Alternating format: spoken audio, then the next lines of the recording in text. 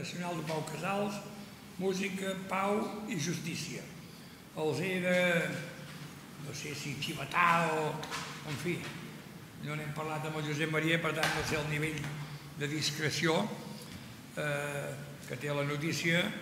El Josep Maria Figueres està enllestint una monumental biografia de Pau Casals, probablement ell ens, ens explicarà alguna cosa més, que aportarà informacions i notícies absolutament inèdites fins avui, ha corregut arxius de Catalunya, Espanya i el món, seguint una mica les petjades de, de Pau Casals.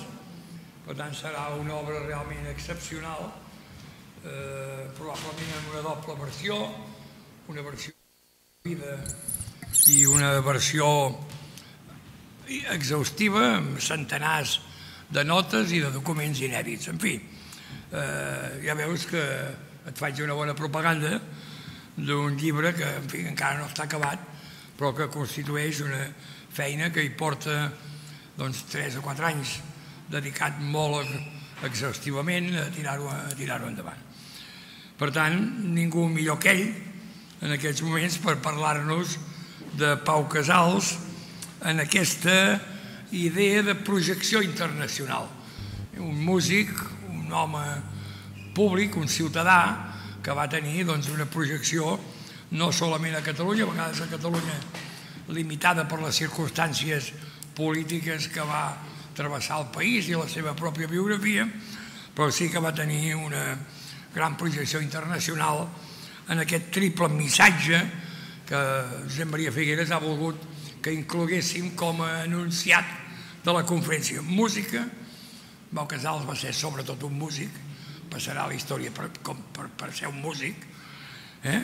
però també va ser un home que va defensar els principis de la pau i de la justícia i que va estar compromès amb el que en diríem la causa de Catalunya. I per tant aquestes tres projeccions són el que constituiran l'eix vertebrador de l'exposició de Josep Maria Figueres. Són les 7 i 5, eh, tens 45 minuts. Eh? I per tant tens la paraula i t'agraeixo molt que hagis acceptat de fer aquesta lliçó i que la puguem veure publicada també al seu. Gràcies i mm, molt bona tarda en el dia d'avui. En primer lloc, vull agrair a la presidència i junta de la Societat Catalana d'Estudis Històrics que em convidin a parlar del que ha de m'interessar molt per la recerca biogràfica que dedico com a exposat. Seran unes reflexions breus, després pot haver-hi col·loqui i el que bonament sàpiga de qui els hi pugui interessar, en podem parlar in extenso, però mm, l'he preparada molt breu. Molt breu perquè hi ha hagut les eleccions, vostès ja estan en aquest sentit amb un temps i per tant serà un força sintètica. Són unes reflexions sobre la personalitat de Casals vinculades a alguns dels episodis que configuren un singular cas d'una de les presències d'allò que se n'ha dit catalans universals, que és cert que en tenim molts d'universals, però no són tants els que siguin coneguts per la població culta del món occidental, però Casals sí. A més, no podem oblidar, més de 80 anys de vida activa intensa, atesa la seva llarga longevitat. La dada és important per valorar l'incidència de la seva activitat musical internacional. Quan comença la projecció mundial de Casals? Si entenem per projecció internacional la difusió al món occidental, no hi ha dubte que un dels músics europeus del segle XX més rellevant ha estat el vendrellenc Pau Casals. Nat al Vendrell el 1876 i mort a Sant Juan de Puerto Rico el 1973, va tenir una molt sòlida formació a la seva llar, amb el pare organista, al Conservatori de Música de Barcelona i el de Madrid, i sobretot amb la seva disciplina, amb la seva constància, que el feu perseverar a base de voluntat i amb l'exigència de la perfecció. Quan algú, poc documentat, pot parlar amb l'afany de desvalorització del propi, que no n'hi ha tant per la imatge internacional de Casals que pot trobar o exagerada o hiperdimensionada, només cal acudir als professionals, els violoncel·listes d'arreu al món. Aquests, ahir avui, d'Estats Units, amb aquells concerts de 100, 200, 300 violoncel·listes, o d'Andorra, són els principals avaladors del molt alt nivell de casals en aquest específic panorama musical. Andorra, precisament, cercant dades de casals, un notari ens va mirar ell personalment en tots els registres de totes les parròquies quan només li havíem demanat pels seus arxius específics.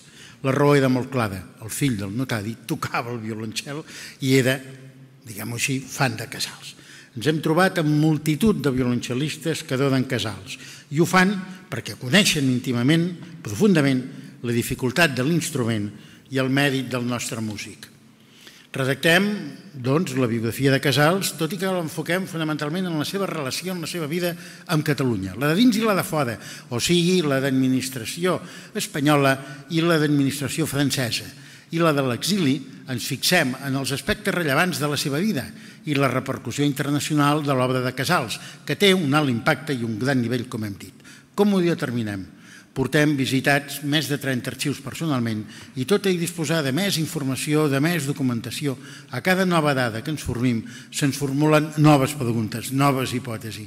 Cal donar-hi resposta, però potser el gènere biogràfic és això, formular qüestions encara que no tinguem respostes. I la primera pregunta que es fem és quan comença aquesta projecció. En quin moment? És el 1899, amb els concerts Lamegú, del qual el malaguanyat Josep Maria Corredor diu que van aconseguir una projecció a la premsa espectacular, com indica a les seves converses, o són potser les mateixes converses, amb gairebé 30 edicions del Corredor, les que van ajudar també i molt, al costat de les del cant, com a diàleg, en aquesta projecció. O potser arranquen dels concerts de Londres, també aquest mateix 1899 o té a veure amb la implicació de les monarquies. He sabut que Casals obtingui el suport de la reina espanyola, que li atorgà una beca, i entre parèntesi permetin que expressi el meu malestar per la crema de les cartes de la reina Casals arran els fets luctuosos de la persecució social en la rereguarda catalana durant la Guerra Civil a la Casa de Sant Salvador i les de Casals a la reina a l'arxiu reial, al Palau Reial de Madrid, no les localitzen, tot i que estan ben referenciades en el catàleg. Ja passa en història que els documents es veixen. O potser fou la vinculació dels monarques, de les monarquies, la portuguesa, la belga, l'anglesa i espanyola, com a malòmens que el protegiren. Sigui com sigui, en aquests concerts, els de París i els de Londres, Casals, quan acaba, diu me venen peticions a dojo, no puc donar l'abast. I aquesta serà ja una tònica de la seva vida. Li costarà molt dir que no. I quan digui a partir d'ara de dir de no, serà com a protesta, serà el que diu el meu amic Francesc Roca, l'èxit de la protesta. El seu silenci es convertirà en el més gran dels èxits. Bé, i Casals obté la plaça de professor al Conservatori de Música de Barcelona i de Música al Liceu Francès, amb dues al 1896, de la mà del professor Garcia, que per avatards personals ha de marxar a Buenos Aires, i aleshores li passa, fins i tot alguna classe particular també, li passa aquestes aquests eh, elements que li facilitaran la seguretat. Però no està de quiet. Aviat ho deixarà, mantindrà sempre la docència no reglada sinó puntual, fermat, eh, amb, amb persones que el van a visitar del Japó, d'Estats Units, d'Europa, etc. I ell tindrà aquest goig de compartir, que és ensenyar. Ensenyar és compartir. Tanmateix, els càrrecs li donen seguretat. Molt bé, aventuro ja una primera hipòtesi, que és que si vostès escolten les suits de Bach a internet en accés obert, tot i la pèssima qualitat, i les poden escoltar en l'edició que hi ha a l'església de Sant Pere, a Prada de Cuflent, aquelles imatges en blanc i negre, aquelles imatges en blanc i negre en les quals apareix solitari, com recordant aquell home solitari contra Franco, però apareix en aquest cas solitari musicalment, i és en aquesta recuperació, aquests 12 anys d'assajar-les constantment en el que trobem aquest èxit. En història sempre afirmem que un esdeveniment no té mai un sol factor provocat, causa-efecte, sinó que n'hi ha molts de vinculats. El determinisme, si no, seria pujar el preu del blat, ergo ve la revolució social, i no sempre és tan automàtic. En les raons, doncs, de la projecció de Casals hi ha aquesta qualitat única en la puresa del so, en el valor de la interpretació, però hi afegim, hi ha una dimensió externa que s'hi suma, la recuperació de Bach. Quan el jove Casals troba aquestes partitudes de les composicions per violoncel, ell que s'hi havia especialitzat en la música, el seu pare volia que fos fuster, Morfi volia el protector, volia que es dediqués a l'òpera, la mare, Pilar, de les quals anem passant imatges simplement com un factor ambiental perquè puguem penetrar una mica amb aquesta atmosfera anant seguint l'exposició, però sense anar-hi massa lligades. I aleshores la Pilar, la seva mare, volia que fos violoncel·lista el fill que segueix a la mà d'en tot. A un nivell i és una dimensió de poc valor. Quan parla de les Nacions Unides, surt la mare i sempre hi apareixerà. Tenim correspondència de moltes procedències on la devoció és constatada amb una plenitud excepcional en aquest amor materno-filial. El que diu, el que suggereix la mare, sigui que escrigui un dietari de la seva estada a París. El Casals, que només escriu cartes, el fa i durant un any llarg, i gairebé cada dia. Tanmateix, material inèdit, es pot llegir, però són tres quaderns i dos estan a la secció de manuscrits de la Biblioteca de Catalunya. Si la mare li diu que compri una casa a Sant Salvador, si tindrà arrels al seu país, si no amb tants hotels acabarà amb un pis a París o Nova York, ho fa el seguiment de la biografia ens permet veure com el caràcter i personalitat d'aquesta mare influeix poderosament, no, millor dit, absolutament en el fill. Doncs bé, a la botiga de música del carrer Ample de Barcelona, aquelles partitudes juguen un paper excepcional. Són l'esca que encén la passió musical i l'acompanyaran tota la vida. Cada dia les assajava, cada matí ressonaven, fos el piano o el violoncel. Bach era la vida. Un segon aspecte seria la implicació musical si de jovenet ja treballa musicalment, sigui el Cafè Tos de Gràcia, la Pajadera de la plaça Catalunya, o el Cafè Concert de París en els anys finals de Tombant de Sencle, es vincula amb un pianista, amb en Crickbaum, van a fer eh, concerts arreu, i els primers que ens hi volem aturar, un segon, són els concerts del País Basc en el que coneixem com l'eco periodístic, gràcies als retalls que el mateix Casals envia al director, amic seu del Vendrell, de la revista El Vendrellense, aviat serà El Vendrellenc, Lo Vendrellenc, que canviarà de títol aquest 1900 també, i que després passen i es conserven, totes les cartes, a l'arxiu històric del Baix Penedès. Els espectadors, com els de Portugal i els de Madrid, se n'adonen d'aquest alt nivell. No serà el públic català, aquesta reacció serà posterior.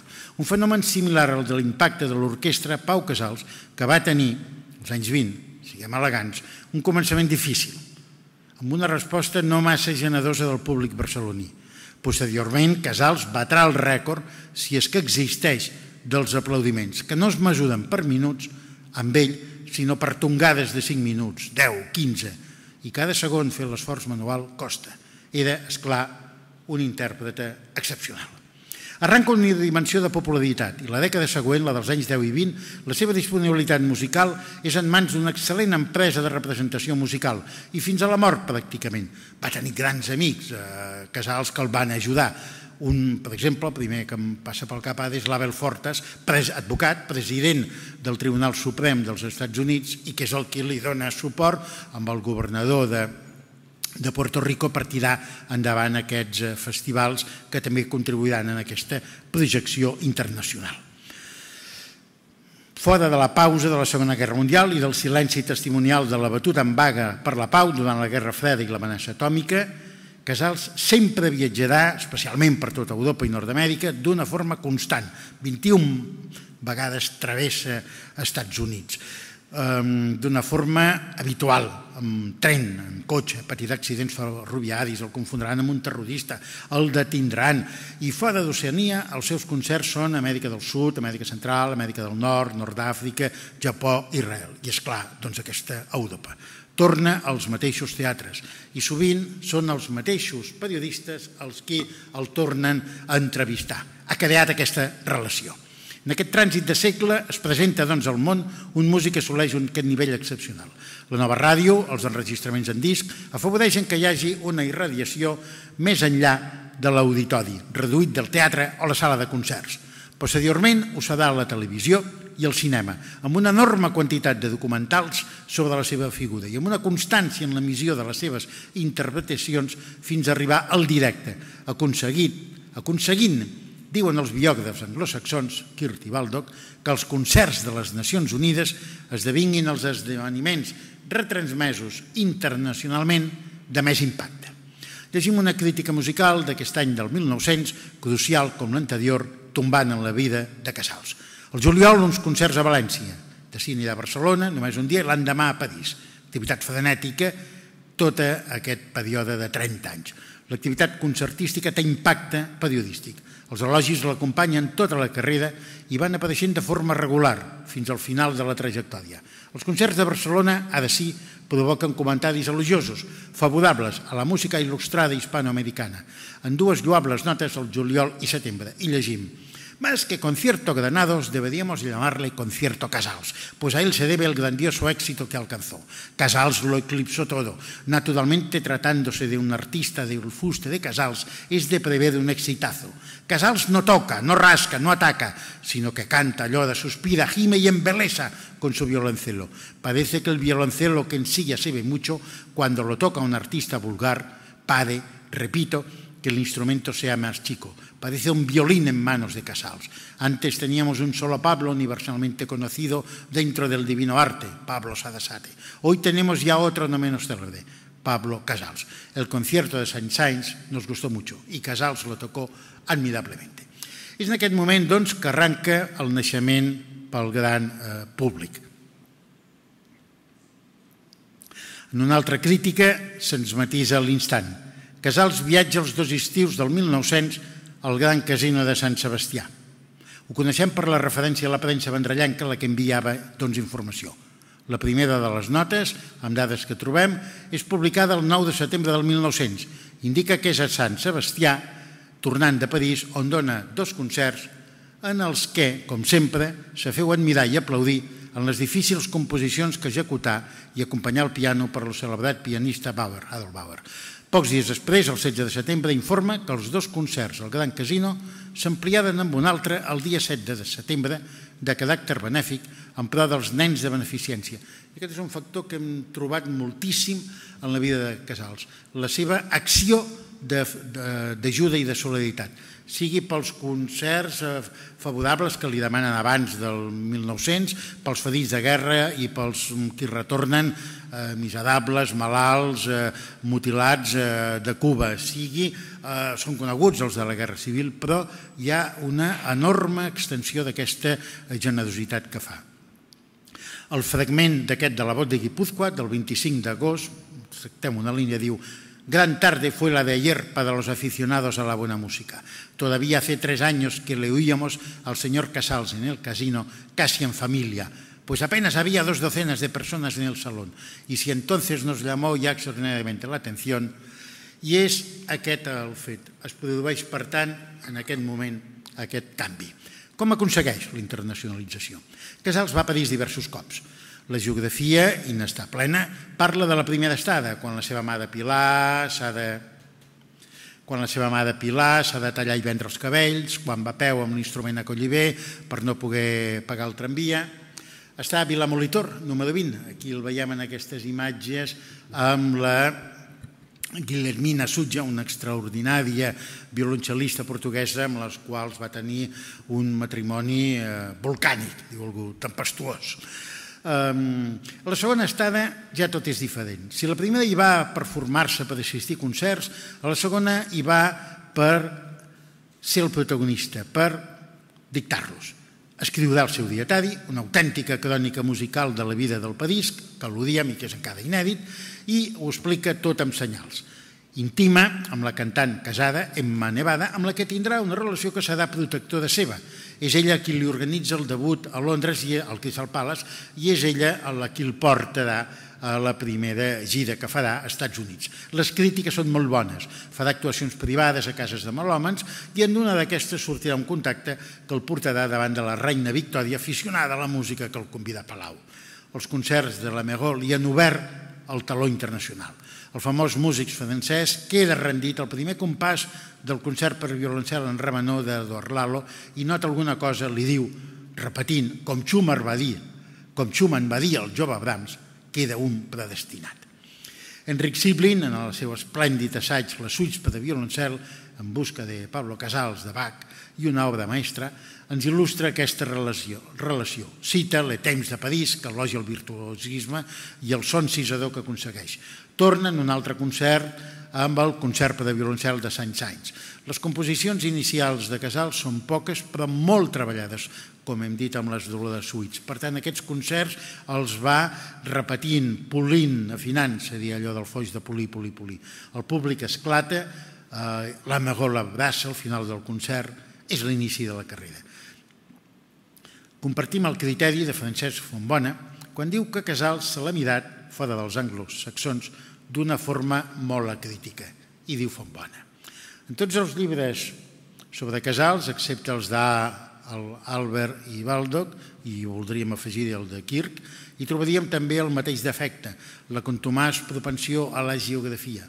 És evident que Casals, diu Fontbona, és un músic excepcional, una figura musical d'enorme envergadura internacional, un monstre que depassava el món estricte de la música i que especialment amb el franquisme adquirí un relleu cívic inigualable al nostre país i arreu. Però d'això el fet que tot el que és, digui d'ell, hagi de tenir un regust de relat d'un semideu, hi ha molta distància i no ajuda a traçar un relat prou equànime del personatge. Bé, aquesta és una de les visions en les que hi ha hagut molta repetició.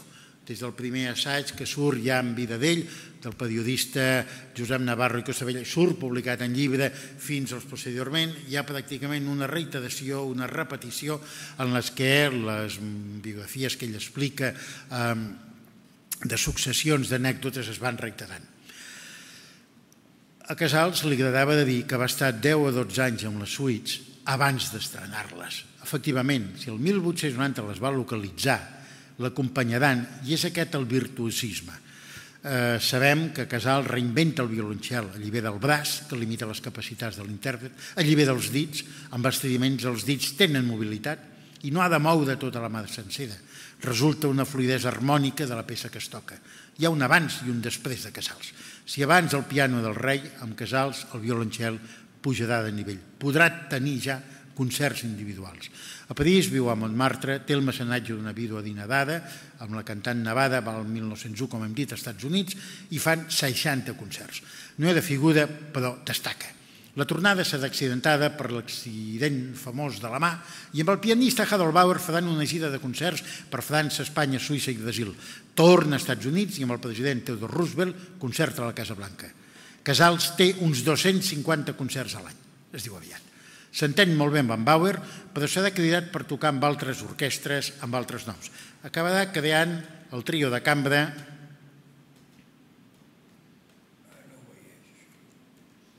Home, no vull estar tota l'estona amb el Conservatori de Música de París. Eh?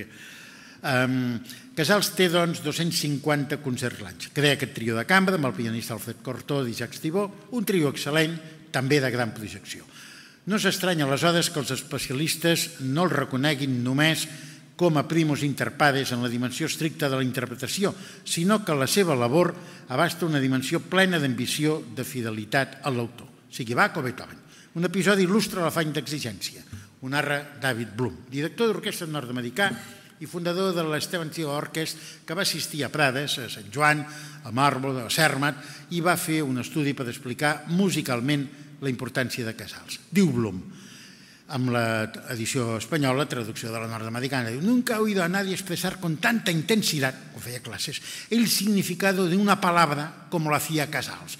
Cuando decía alegría, precioso, tierno, cada una de estas palabras transmitía toda la resonancia de un sentimiento, del mismo modo que ocurría cuando tocaba una frase de Bach.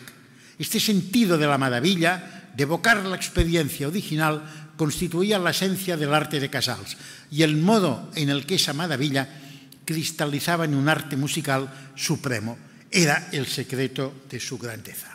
Aquesta exigència la podem trobar en la labor docent, en els escassos i afortunats alumnes que va tenir.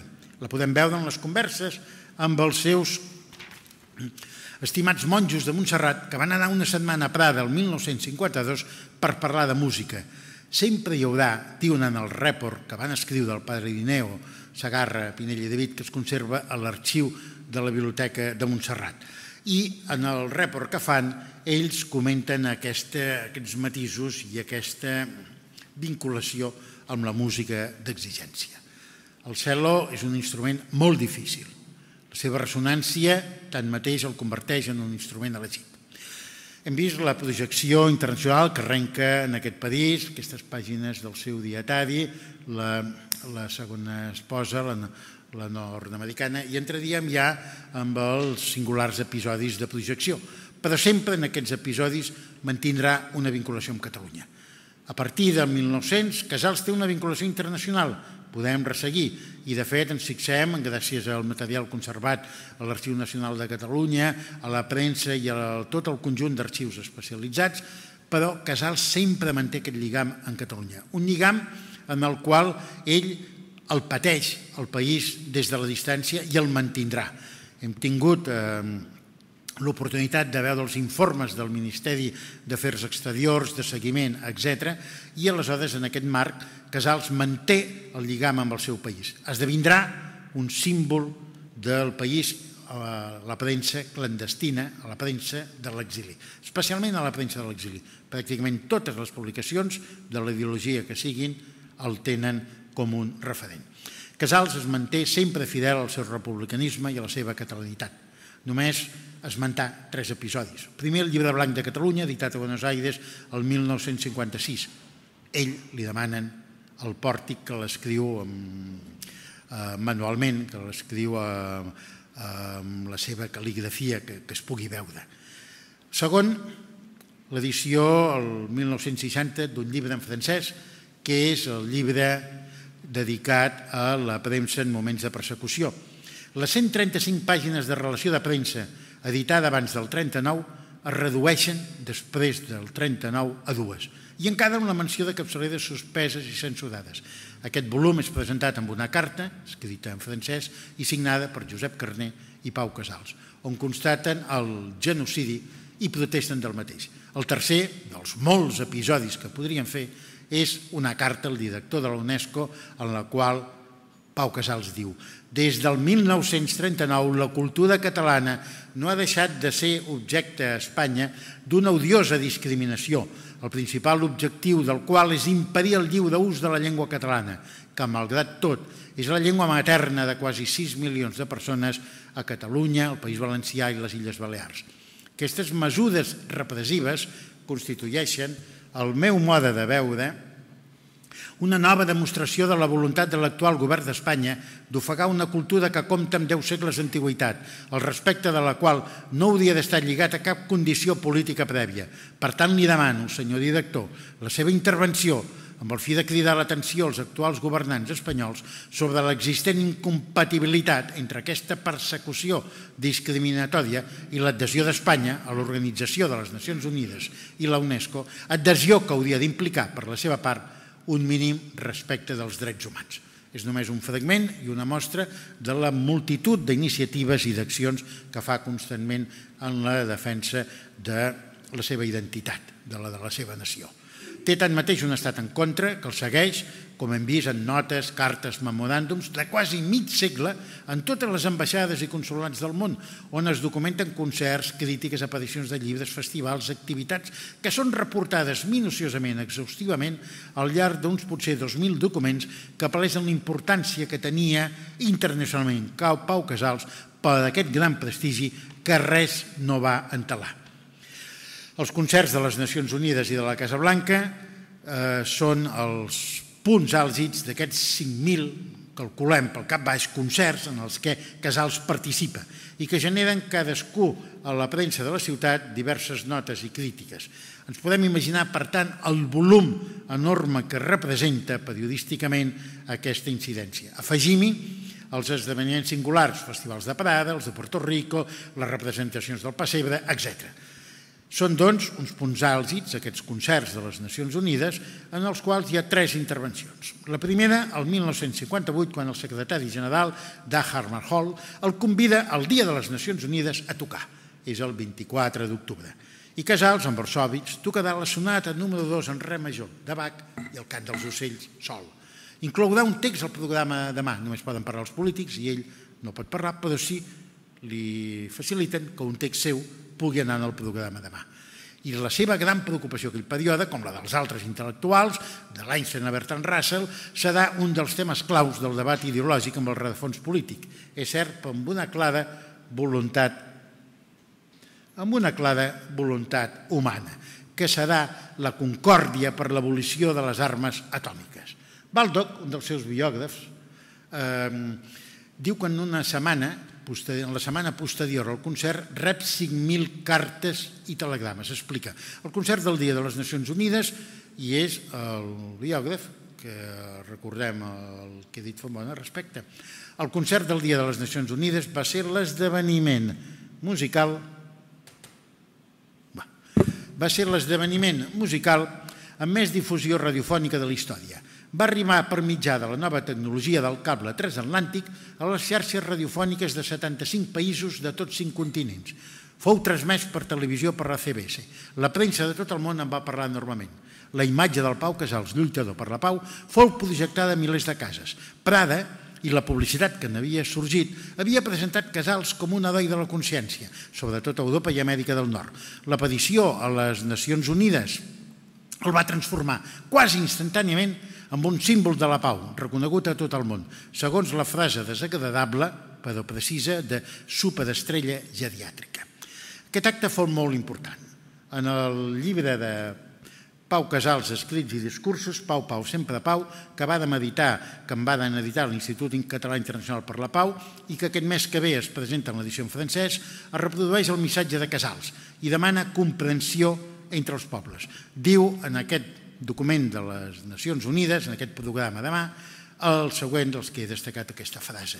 Tots els experiments nuclears haurien de finalitzar i desitjo fermament que les negociacions acabin en un futur proper, en un acord que faci possible la seva suspensió i que més endavant, quan es restableixi la calma i la confiança, els científics puguin reiniciar la seva tasca, però només en condicions que resultin beneficioses per a la humanitat. I Pau Casals torna a l'èxit del pessebre. És que m'agradaria que les veiéssim perquè és una selecció de 50 fotografies que es poden veure independentment de, de la meva intervenció, però que poden donar llum eh, i atmosfera i ambient en aquesta sessió. Torna a les Nacions Unides per l'èxit del pessebre. Les tres audicions eh, de San Francisco de l'any 62, després de la d'Acapulco de l'estrena anterior, van tenir una repercussió també extraordinària i van rebre, explica Joan Alavedra, moltes peticions d'arreu al món. El missatge per la pau s'inclourà en els programes demà de les diverses audicions de l'auditori que es faran també arreu fins a, em sembla, les estic comptabilitzant, gairebé un centenar. OTAN el convida, és el Dia de les Nacions Unides. A la Vedra, autor del text i present també a l'acte, que l'acompanya molt sovint, eh, deixa un excel·lent testimoni. Si la seva semblança de Casals, el llibre de Casals, és més que una biografia, un poema per aquest to que té tan personal, la sèrie de reportatges que la Vedra publica a Telestel i els llibres de la Selecta són una vera biografia al costat del volum que dedica específicament al pessebre. El missatge, tornem amb ell, redactat amb una clau humana molt punyent i emotiva, té aquest impacte. Destaco aquest fragment. La música, aquest meravellós llenguatge universal, hauria de ser una font de comunicació entre els homes. Una vegada més exhorto els meus col·legues músics d'arreu al món que posin la puresa del seu art al servei de la humanitat, amb l'objecte d'unir a tots els pobles amb llaços fraternals, amb aquest objectiu a la meva ment, considero el meu deure oferir la meva humil contribució en forma de creuada personal. Fer que cadascú de nosaltres, en la mesura de les nostres possibilitats, contribueixi com li sigui possible a assolir aquest ideal amb tota la plenitud i que ens permeti unificar les nostres fervents pregàries perquè en el futur proper tota la humanitat pugui reunir-se en una abraçada espiritual. Bé, i torna per tercera i darrera vegada un 24 d'octubre a les Nacions Unides. S'hi presentarà l'himne, en realitat la cançó. El web de les Nacions Unides en diu cançó oficial perquè l'organisme no té himne encara. OTAN li lliu de la medalla de la pau. Esdevé, sens dubte, el document visual protagonitzat per un català com a protagonista més vist arreu. Segurament, mm, darrerament haurien de ser per aquest segle, a Samadang amb els Jocs Olímpics de Barcelona. El concert per antonomàcia de Casals, però, és el de la Casa Blanca, on fou convidat pel president Kennedy el 13 de novembre del 61. De tots els concerts celebrats a l'emblemàtic edifici, no hi ha dubte que el Casals fou el de més impacte. Va ser radiat per la NBC i l'ABC, enregistrat per Colúmbia, que també tenia interès periodístic d'arreu al món. Arran el seu assassinat, Casals s'enfonsà molt. Ho visqué intensament des de Puerto Rico. El cadàver de Kennedy va ser exposat al Sol de l'Est, precisament on havia tingut lloc aquest concert. Les llàgrimes queien en silenci. Va voler expressar el seu sentiment i ho feu telefònicament a la televisió de Puerto Rico, que van passar el seu missatge amb fotografies de fons i el cant dels ocells de fons. A Washington ho van veure i el telefonaren. Després Nova York, les cadenes de televisió nord-americanes ho van emetre. Casals contemplava la ruptura d'una esperança, la del Kennedy dels discursos de la pau, tot i veia cotxinos. Cluenda, segurament el millor lògic que es pot fer és que les grans botigues de discos dels Estats Units fins ara, veurem si es mantenen, les dotzenes de versions de les suites de Casals, exactament són 50 les, les versions que hi ha de les suites de Casals i 75 edicions, les de Casals és l'única que s'ha mantingut sempre en actiu i la seva obra sempre ha estat constantment reeditada. A més de la qualitat musical, fem esment doncs, d'aquesta motivació de la pau, molt en consonància amb els, amb els escrits de Russell sobre la pau, precisament acaba d'aparèixer d'un volum, i ja fa 20 anys que a Barcelona van aparèixer els d'Einstein. En amb dos hi ha la dignitat com a denominador comú. Pau Casals assoleix una dimensió pública ideològica que va més enllà d'aquests valors musicals. Ens dona la resposta i en una d'aquestes converses, Josep Maria Corredor, quan dialoga sobre art i política, diu a Casals. Les funcions polítiques no són de la incumbència de l'artista. Per a mi, per a mi, aquest té l'obligació de manifestar categòricament qualsevol que siguin els sacrificis que això comporta quan es tracta de la dignitat humana ultratjada.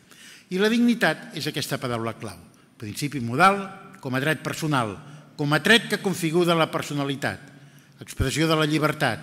I tanmateix assoleix una dimensió col·lectiva quan hom la projecta des de l'arrel del mot. Així, en les concrecions del mot, la significació de dignitat té diverses acceptacions mèrit, virtut, honradesa, honestedat, honorabilitat, noblesa, respectabilitat, correcció, capteniment, decència, decòdum, consideració, estima. També s'associa a condició, rang, honor, excel·lència, autoritat, càrrec públic, responsabilitat, lloc de treball i, en tercer lloc, a bellesa majestuosa, magnificència. És clar que pel cas de Casals ens quedem amb la primera acceptació. No és estrany, aleshores, que esdevingui un símbol del comportament humà, que les Nacions Unides el convidin en tres significatives avinenteses i fins l'encarreguin aquest himne que ha d'encarnar la música de la humanitat, els sons de tota la població del món i que una composició seva vagi camí d'esdevenir-se amb un símbol universalment reconegut. El seu bust a la seu de l'Organització Internacional recorda perennament l'agraïment i reconeixement de l'organització com la multitud de guardons que poden contemplar-se al Museu de Sant Salvador que cal visitar, que palesen la significació de ciutats, estats, organismes, com va manifestar l'alcalde de Nova York. La qüestió no era si Casals era digne del guardó, sinó si nosaltres érem dignes de Casals. La seva personalitat és el resultat de la suma continuada en el temps, gairebé un segle, dels valors inculcats per la família, amb l'exemple vist del treball humil i constant del pare, silenciós i exemplar de la mare, converses i diàlegs que afavoreixen la transmissió del sentiment terral, de la mort a la humanitat, dels conceptes d'igualtat com a sers humans, de l'estima al treball i a l'obra ben feta, que penetren en la consciència de casals i esdevenen clau en la formulació d'uns principis vitals que al llarg de la seva vida assolí. Així, el seu alt sentit de responsabilitat, la seva coherència entre vida i obra i el sentit crític de la realitat fent que participés acció i reflexió en la vida col·lectiva del país, fomentant la catalanitat i del món, treballant per la pau, i esdevenint així no només un català universal, sinó un dels homes més notables i influents del segle XX. Fou indiscutiblement símbol de Catalunya en la diàspora de l'exili, veu dels anònims ciutadans del món que aspiraven, aspiren a la pau, la justícia, la llibertat, conceptes que creia absolutament indissociables, però amb la seva aportació derivada d'aquest treball exigent, assolir un gran coneixement internacional que el configura, sens dubte, com la personalitat catalana no només més coneguda per la projecció artística, tenim altrament pintors rellevants, sinó pel seu compromís humà, que implica que un sector significatiu i nombrós de la humanitat, de la població del món, el consideri un referent pels seus valors. Aquest és el seu mèrit i li hem d'agrair. I a vostès els agraeixo la seva atenció. Moltes gràcies.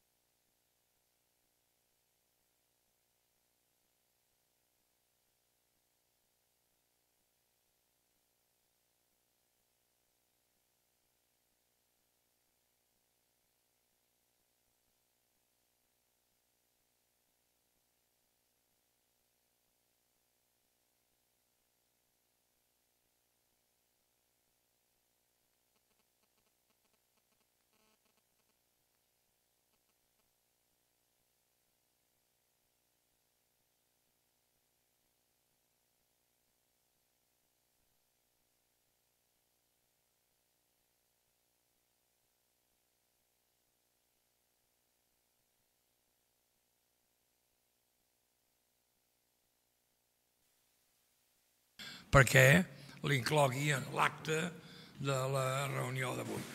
Sense més introducció, els agraeixo la seva assistència a l'assemblea i a la conferència del professor Figueres i ara relaxem-nos 5 o 10 o 15 minuts en un magnífic concert de cello del professor Lito Iglesias. Moltes gràcies.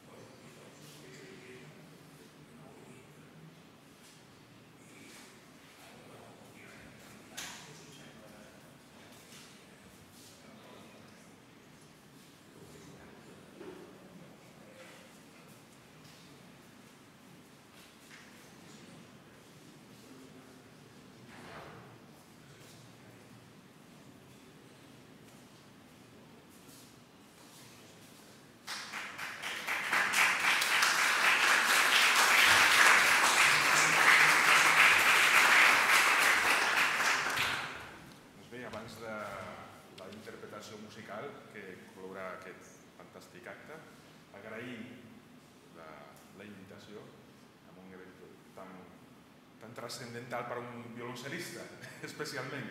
Ho és per tothom, tal com ho hem sentit les paraules de la senyora Figueres, però per a un violoncel·lista és un honor. Un honor. En el meu cas, a més a més, hi ha una, una vinculació indirecta a ser professor del Conservatori Municipal, igual que la meva col·lega Eulàlia Nofres també ha vingut avui, eh, Casals va ser professor i alumne de, de, del mateix centre, vull dir que, que, que això honra el, el, el Conservatori actualment. També participo en, en activitats didàctiques amb el Museu Pau Casals a, a Sant Salvador, al Vendrell. M'han demanat eh, uns minuts de música representatius de, de Pau Casals i que crec que, que lliguen totalment amb el títol de, de la conferència, la projecció internacional de Casals, musicalment eh, triaria dos, dos elements indiscutibles de, de la seva aportació reconeguda internacionalment. Primer, el redescobriment de Bach. Bach és una història que, que s'ha de lligar sempre la, la suite per violoncel sol de, de Bach eh, està lligat per sempre en la història amb el nom de Pau Casals perquè va ser el primer que va redescobrir com a obra de concert, el primer que les va gravar, el primer que les va difondre a tot el món com un repertori fonamental pel, per, per als violoncel·listes. Per això l'acompanyava i és un record que tenim sempre present. Farem dos moviments de, de, de la tercera suite, la, una sarabanda i, i, i les borrers. I per acabar, evidentment, el cant dels ocells, que és l'altre vessant de la, del, de la projecció internacional, però com a, com a aportació simbòlica al, al que ens uneix, el que, el que serveix la música de servir com un, com un llenguatge de la pau. Vull dir que és el, el que ell, per això ell, ell va recollir aquesta cançó popular catalana, i aquí ja us és de, de Pau Casals, és, és, una, és una cançó popular catalana que ell va eh, tenir la genialitat de convertir-la en un himne, en un himne a nivell universal. Doncs bé, doncs sentim aquests, aquests tres apunts musicals i, i espero que, que sí. És fantàstic, el local i tot l'edifici. L'acústica és, és molt bona. És molt bona. Aquestes, aquestes voltes són ideals per, per, per reproduir la música. Problema no serà, no serà l'acústica.